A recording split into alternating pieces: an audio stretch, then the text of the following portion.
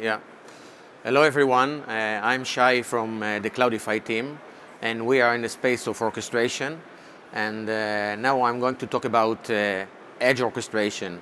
So, all, as all of you know, the big master cl uh, cloud is gonna broken to edge clouds because of many reasons. Uh, there are many use cases like connected cars, augmented reality, smart city, but their main twofold reasons are latency. You sometimes you need to uh, actually respond immediately in less than 20 milliseconds. So you cannot send all the requests and responses to the main cloud, but you have to process it at the edge. And the second main reason is you don't want to uh, actually send enormous data point, I call it tsunami of data points, uh, from the edge to the main cloud. So you're going to have thousands or uh, hundreds of thousands of, cl of clouds. So basically, uh, you can see here that uh, you can have an edge cloud at the ship. So there is a cruise ship. Uh, people want to play, to uh, do gambling, to uh, play games at airplanes. And the bandwidth is scarce. Sometimes, you know, a satellite connects it. Sometimes there is no connection, network connection. So there are a lot of challenges running an edge cloud. One of the challenges is actually, let's say, it's resource constraint. It's a very low uh, footprint. And that's what I'm going to show in the demo. We, uh, together with uh, one of the telcos, we created actually Kubernetes on top of OpenStack, and we use function as a service and not containers because containers, it's, uh, even though they are ephemeral, but they are a big unit of work and they stay forever, even though they are ephemeral.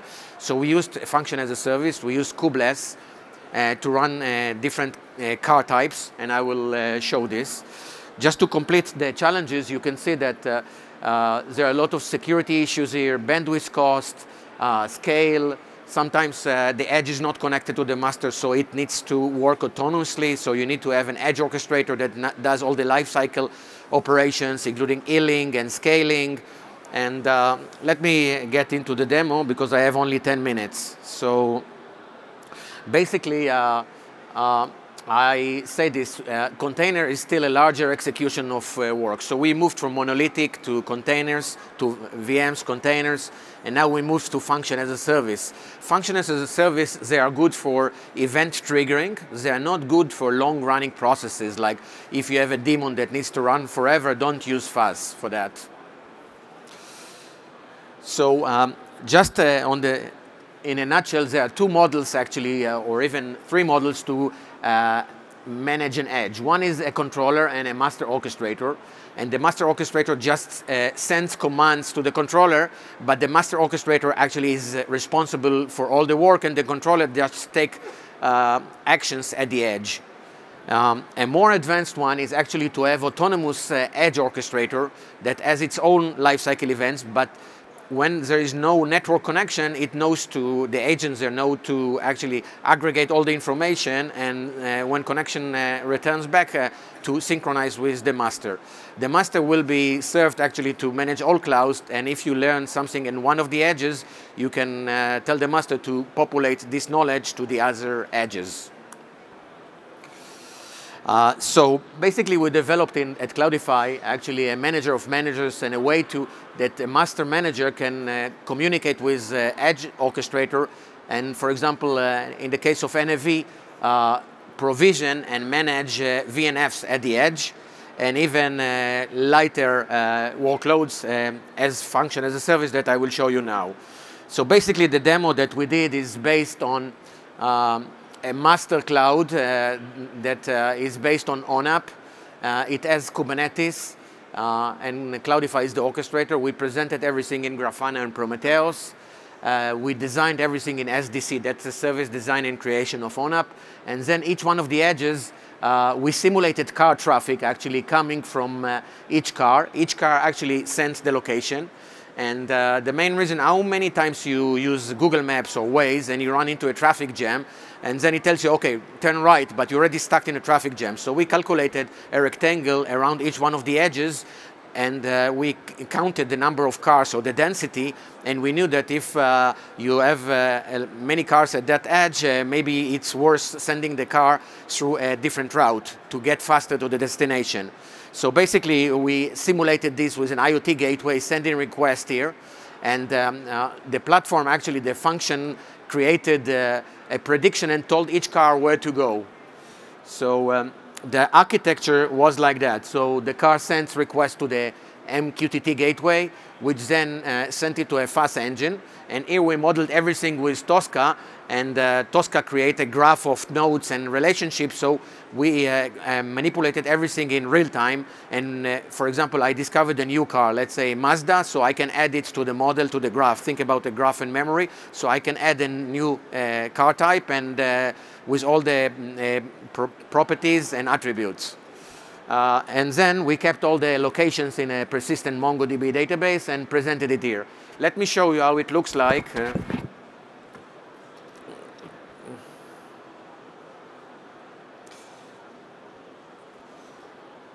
So basically you can see here in Kubernetes uh, actually that all the pods, the different car types and the, the different functions. And uh, let me run the demo. It's a recorded demo. So we present this on a Google map, and uh, the one of you that actually the, the, that are familiar with Boston will see the traffic jams there. But you see each car, actually, we calculated the density, and we sent predictions to the cars where to go. So i will try to find this. So you see this is the prediction, where to go. And uh, basically each car type here, uh, the, each dot represents a different car type. And uh, we have Mazda, Ford, Toyota. And here at this place, at the Longfellow Bridge, we created another Tosca node that created a traffic jam. And the cars needs to go here to this destination. And uh, you will see that some of the cars will be rerouted through a different route and will get faster to the destination. So I will run this uh, forward because I have limited time here.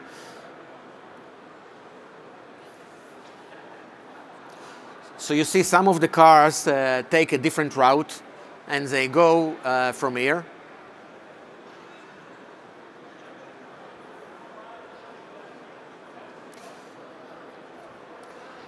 Okay, so the new, actually the, the car that did to the, the reroute uh, already reached the destination while the others are still driving and everything here was done with uh, a function as a service on top of uh, Kubernetes using kubeless and uh, on top of Akraino at the edge. Now, some providers actually want to uh, create uh, all this with uh, Kubernetes on a bare metal, even they don't want to use an edge stack. They just want to run bare metal because of scarce resources. Now, we presented everything in Grafana, and Prometheus was the agent that collected the data. So you can see the function uh, failure rate and the function call rate. And you can see that when we scaled, actually there are three ways to scale this uh, um, actually uh, prototype that we did. Uh, one way is to uh, scale the functions, add more functions uh, from for the same car type if there are more Toyotas, for example. The second one is to add more pods and Kubernetes already takes part, take care of this, and this is simple. And uh, also there is a way to add more nodes. So we implement the provider interface in Kubernetes so we can add more nodes to a running Kubernetes and they will be added to the cluster.